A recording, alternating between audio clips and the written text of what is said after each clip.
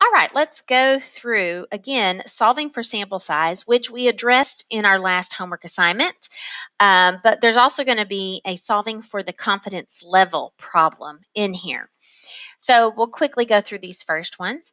Um, so, of course, we know that our margin of error comes from two things that confidence level and then our standard error of statistic, which we have control over the sample size and the confidence level. Those are the two things that we can control to change our um, margin of error. So we also know that as n goes up, as n goes up, this makes our standard deviation smaller to make a smaller sample size. So here is a couple of problems. This first one is like what we saw on our assignment uh, for assignment two. We are asked to have a margin of error of 0.04 with 98% confidence.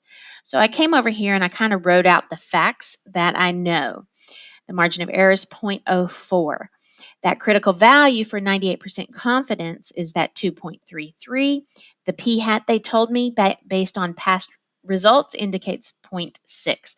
So here is the key that you have to know to do is to fill in this formula, margin of error equals that critical value times that standard deviation of the statistic.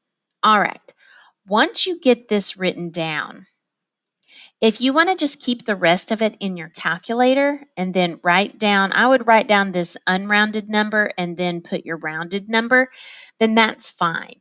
You do not have to show this work for the intermediary steps of your algebra, okay? Um, just what you initially set up to solve that. And I'm not going to go through the solving on that because I do in a separate video. You can look on um, the videos up ab above on this day, the lecture videos, it says how to solve algebraically for sample size.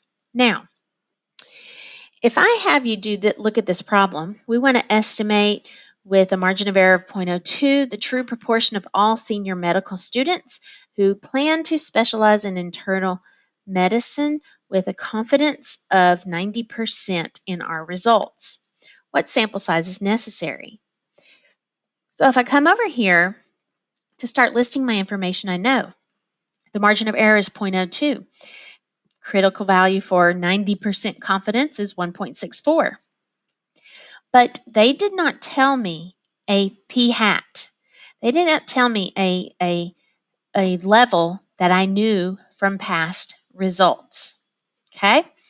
So the largest possible product that could occur when you square two amounts, two decimals, is the, the when we would square 0.5 times 0.5. That would give the largest possible product. See, because there's that. For example, 0.4 times 0.6, that's 0.24. See, so it starts going down. This is a product of 0.25. This is a product of 0.24. 0.3 times 0.7, that's a product of 0.21. So those products start getting smaller as you get farther away from 0.5 times 0.5. So to be on the safe side, we put the largest possible product there can be in there. And that's 0.5 times 0.5. So the best it can be is if you use true p, but if you do not have that, then of course we use our p hat. Worst case scenario is those don't jive. Please don't cry. Please don't cry. Just use 0.5. Okay, and of course we have a song for that. So let me play that for you real quick. Here we go.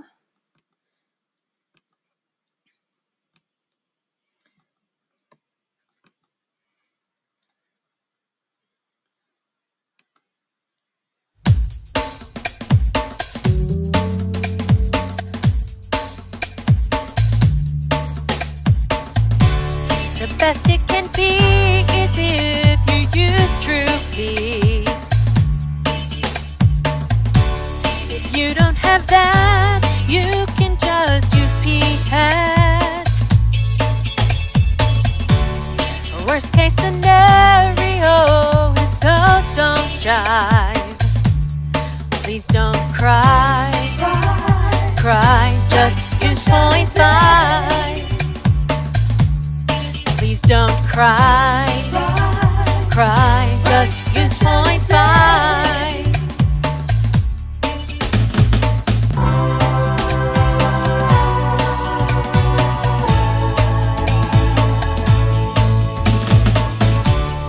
best it can be.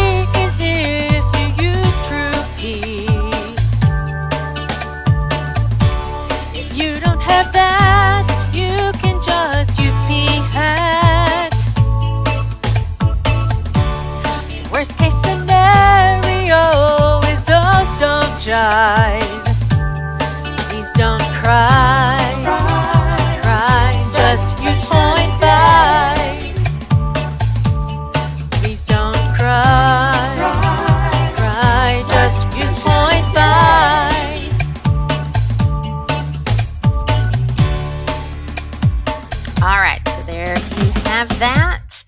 If you do not have p hat, then you can use 0.5 to be on the safe side. Okay, so that's what we put in there. 0.5 filled in the margin of error equals that critical value, used 0.5 and solved that out, and then rounded it up.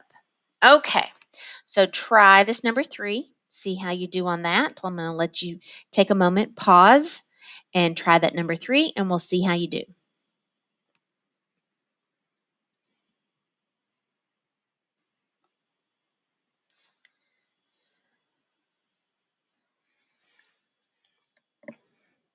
So I can see that this number three was even different still. It did not have a p hat, so we used 0.5. But it actually gave us a sample size, so I had an n to fill in. So if I use this information, the one thing that is missing is my critical value because ultimately I want to know what degree of confidence. So to know that degree of confidence, see that degree of confidence is that level that what is in the middle. Confidence level is what's in the middle.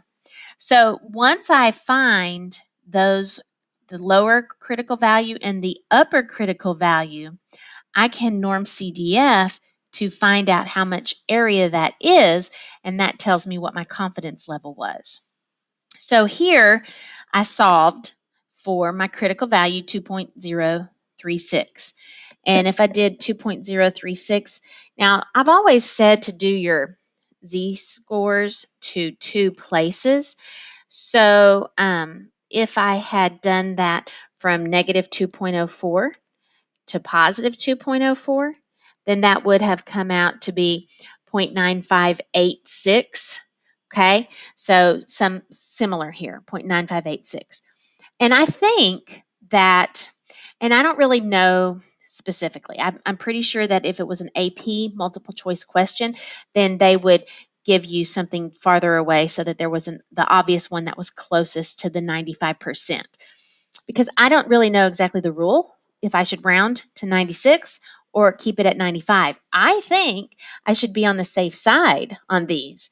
And on the safe side of these is going in, whereas the safe side for the sample size was getting bigger. But uh, anyway, so that's 95%. Um, I would not have something so close as to make you choose between 95% and 96%. Okay, so whichever one of those you had come up with, that's it. All right, now here we have this problem. We have Presidential Pete. He's on the home stretch of the campaign and he wants to know if the polls predict that he will win the election. So, a recent poll of 1,020 randomly selected voters found 484 responded in favor of Pete. Construct a 95% confidence interval. Now, we're going to do that here in just a minute.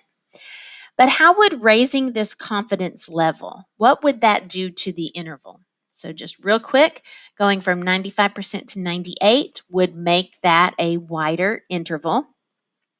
But what happens if Pete wants to take another poll, but he doesn't have enough money to poll as many people? So he only polls 500 voters. What's that going to do if we have to have a smaller sample size?